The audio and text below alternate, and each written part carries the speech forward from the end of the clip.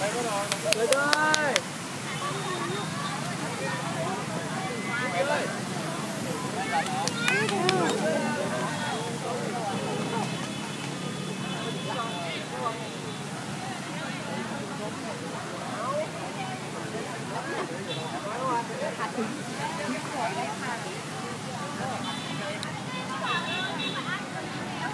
Dừng đấy không?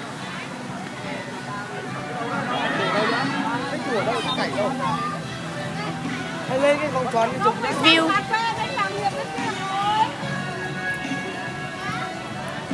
Yeah, yeah.